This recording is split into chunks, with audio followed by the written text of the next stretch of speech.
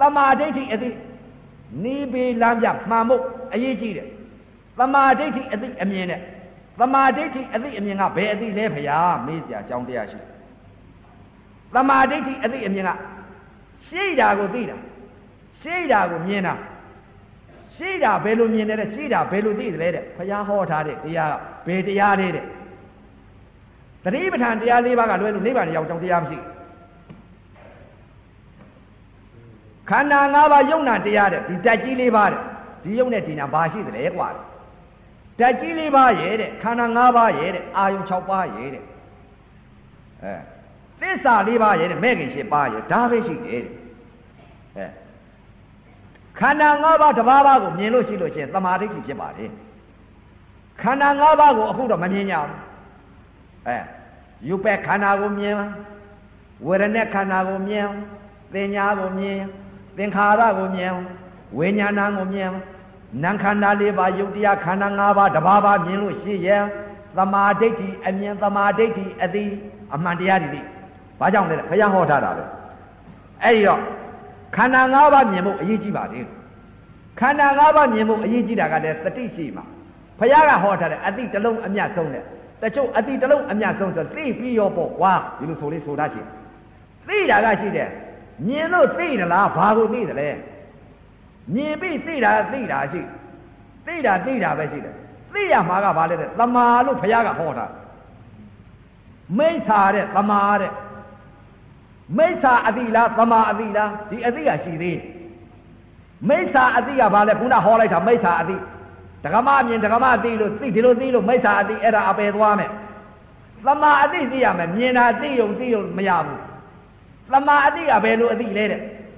ဖះဟောထားတဲ့တရားပါလဲတဲ့ခန္ဓာ၅ပါးတဲ့လက္ခဏာ၃ပါးတဲ့ဓာတ်ကြီး၄ပါးတဲ့အာယုံ၆ပါးတဲ့သစ္စာ၄ပါးတဲ့မဲ့ခင်၈ပါးတဲ့ဘုရားဟောထားတာအလကားထားပြခဲ့တဲ့တရားမဟုတ်အဲ့တော့ခန္ဓာ၅ပါးကိုဘယ်လိုမြင်မလဲဓာတ်ကြီး၄ပါးကိုဘယ်လိုမြင်မလဲသစ္စာ၄ပါးကိုဘယ်လိုမြင်မလဲဆိုတာသဘောတည်သိရ ခုနဟောလိုက်တဲ့တရားကမရှိတဲ့တရားအန္တပုရုဇဉ်ဝင်းတွင်ကန်းနေဟောတဲ့တရားသိမ့်တလာတွေဖုံးတဲ့အကန့်ဟောတဲ့တရားအပယ်လေးပါးကိုလူဆယ်သိန်းစီလို့လူတယောက်မှမဖြစ်တဲ့တရားဟောလိုက်တယ်ခုနတုန်းကဟောတဲ့တရားကအခုလူဖြစ်တဲ့တရားဟောတော့မယ်လူသေးလို့လူဖြစ်တဲ့တရားဟောမယ်ခုနတုန်းကလူသေးလို့လူမဖြစ်တဲ့တရားခွေးတို့ဝက်တို့နွားတို့ကြက်တို့ရေတွေကငါးတို့အပေါ်ကောင်းရင်ပြန်သွားနေတဲ့ငှက်တို့ရေတွေကငါးငရဲခံရမယ်တရားဟောလိုက်တယ် စုံစုံမြုပ်မဲ့တရားလူသေးလို့လူမဖြစ်တဲ့တရားအဲ့ဒီတရားကလူသေးလို့လူဖြစ်တဲ့တရားဟောတော့မယ်လူသေးလို့လူဖြစ်တဲ့တရားဘာလဲတဲ့အမှန်မြင်အမှန်သိတဲ့တရားအမှန်ရှိတာကဘာလဲတဲ့ယုံနဲ့နာလက္ခဏာ၃ပါးလက္ခဏာ၃ပါးပဲရှိခန္ဓာ၅ပါးပဲရှိဓာတ်ကြီး၄ပါးပဲရှိအာယုံ၆ပါးပဲရှိသစ္စာ၄ပါးမဲ့ခင်၈ပါးဒါပဲရှိဒါကိုပုံကိုယ်တွေမသိ မရှိတဲ့တရားတွေသွားမြင်မရှိတဲ့တရားတွေသိလို့အဲ့ဒါကိုကျွန်းနေအဲ့တော့ခုနတုန်းကလူသေးလို့လူမဖြစ်တဲ့တရားလူသေးလို့လူဖြစ်တဲ့တရားဟောတော့မယ်အခုလူသေးရင်လူဖြစ်ပါတယ်ဗျလူသေးလူဖြစ်တဲ့တရားကဘယ်တရားလဲတဲ့သမာအသိသမာအသိသမာအသိဆိုတာဘာလဲအမှန်သိတာခုနတုန်းကအမှားသိတာမိစ္ဆာသမာအသိဆိုတာဘာလဲတဲ့ရှိတာကိုသိတာ ရှိတာသိတာကဘယ်တရားလဲတဲ့ဘုရားဟောထားတဲ့လက္ခဏာ၃ပါးတဲ့ဓာတ်ကြီး၄ပါးတဲ့ခန္ဓာ၅ပါးတဲ့အာယု၆ပါးတဲ့သစ္စာ၄ပါးတဲ့မဲ့ဖြစ်ပါဒါဟောတယ်ဘုရားအဲ့ဒီတော့ဒီကနေ့လည်းရှိသေးတယ်နေ့ဖြန်ကလည်းရှိသေးတာပေါ့လေဒီကနေ့တော့အဲနှစ်ချက်ထိုးရဆိုတော့တရားဟောနေရင်ကြားနေမှာဦးစင်းကလည်းဟောမင်းရင်ဒကာဒကမတွေသဘောပေါက်အောင်ဒကာတွေဟောခြင်းစိတ်ကအဲဟောမင်းရင်လည်းလက်လွတ်လို့မရဘူးအဲ့တော့သဘောပေါက်အောင်ဒကာတွေဒကာဒကမတွေကိုသဒ္ဓါနဲ့ဟောတာနော် အာဒီပုဂ္ဂိုလ်ကြီးဒေါသကြီးကြီးတယ်လို့တော့သိကမထင်လိုက်နဲ့သဒ္ဓါနဲ့သိကြပါသေးတော့ဆိုပြီးတော့စေရနာနဲ့ဟောတာအဲစေရနာနဲ့ဟောတာပါအဲ့တော့မြန်မြန်သိကြပါသေးလို့အပေတကားပိတ်ပြီးနိဗ္ဗာန်ရကြပါသေးလို့အကြောင်းတရားအကျိုးတရားကြောင့်မလို့ဟောရတာပါဗျာအဲ့တော့အခုဟောမှာကဘာလဲတရားဓမ္မများသမာအသိလူသေးရင်လူဖြစ်တဲ့တရားဟောတော့မယ် ခုနဟောလိုက်တာကလူသေးရင်လူသေးရင်ခွေးတို့ဝက်တို့နွားတို့ငရဲတို့ဖြစ်မဲ့တရားဟောတယ်လူမဖြစ်တဲ့တရားဟောတာခုနဟောတဲ့တရားအခုလူသေးရင်လူဖြစ်တဲ့တရားဘယ်တရားလဲတဲ့အမှန်တရားကိုဟောတော့မယ်သမာဓိဋ္ဌိသတမာဒိဋ္ဌိကဘာလဲတဲ့ဘုရားလက္ခဏာ၃ပါးတဲ့ခန္ဓာ၅ပါးတဲ့အဲ့တော့အခုလက္ခဏာ၃ပါးကိုဟောတော့မယ်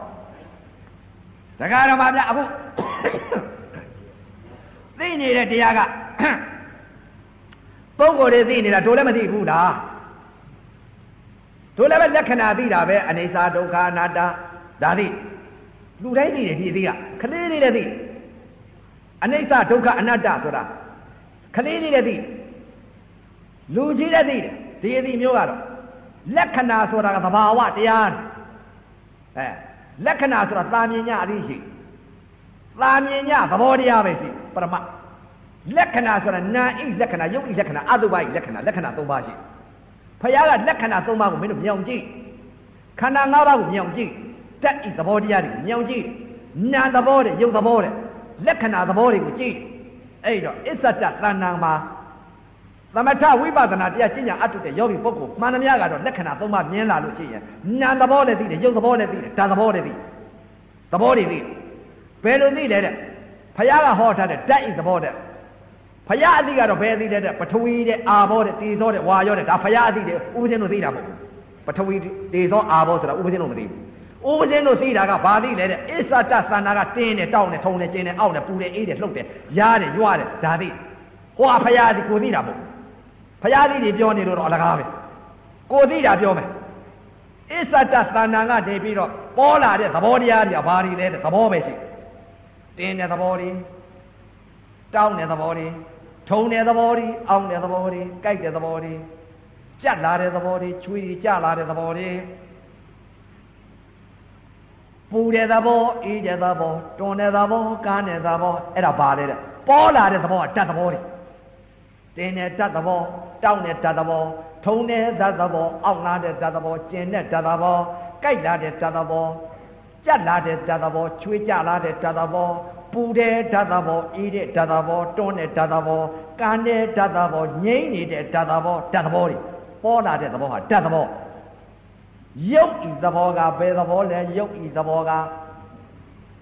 ဘယ်သဘောလဲ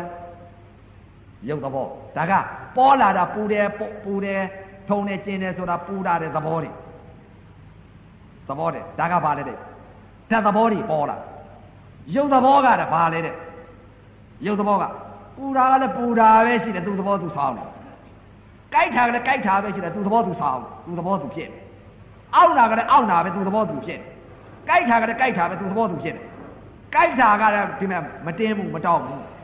သူသဘောသူအသီးသီးဖြစ်နေတဲ့ရုပ်သဘောတွေရုပ်သဘောကဘာလဲသူသဘောသူဆောင်းတယ်ဆိုတာ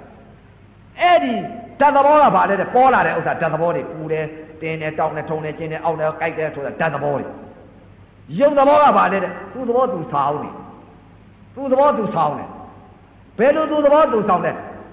ဓာတ်ကြီးလေးပါရှိတဲ့အ내ကားတဲ့ဘုရားအသိကတော့ဘာလဲတဲ့ပထဝီအာဘောတည်သောတဲ့ပထဝီအာဘောတည်သောဝါရောတဲ့ဓာတ်ကြီးလေးပါရှိဓာတ်ကြီးလေးပါရှိတဲ့အ내ကားအစ္ဆတတဏ္ဍာမှာရှာလိုက်တဲ့အချိန်ကသတိပဋ္ဌာန်တရား၄ပါးနဲ့လိုက်ရတယ်။နောက်နေ့ပြင်ကကျမသတိပဋ္ဌာန်တရား၄ပါးကိုဟော။ဒီကနေ့တော့အတူချုံဟော။အဲ့တော့သတိပဋ္ဌာန်တရား၄ပါးနဲ့လိုက်တော့ဓာတ်သဘောတွေတွေ့။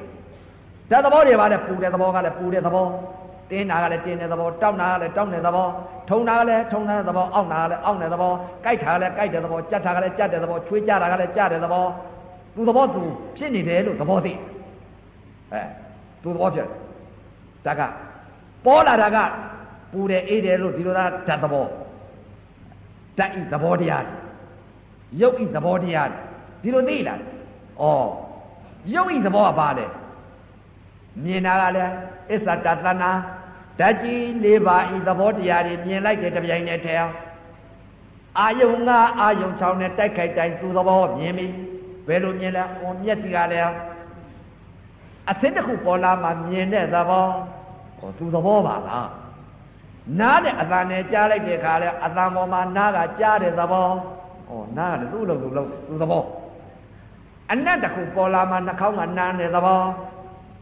လျာနဲ့ရာသာနဲ့စားလိုက်တဲ့ချင်းကလျာသဘောကလည်းချိုးတဲ့ချင်းတယ်လို့နာကခံစားရတဲ့ဝေဒနာဤသဘောသူသဘောသူဆောင်ကြတယ်။ကိုယ်ကလည်းသူသဘောအတွေ့နဲ့တိုက်ခိုက်လိုက်မှသူသဘောဓမ္မနဲ့တက်ခဲ့လိုက်မှာမနောကလည်းသူသဘောဩတကား6ပေါ့အာယုံကအာယုံ6နဲ့တက်ခဲ့တယ်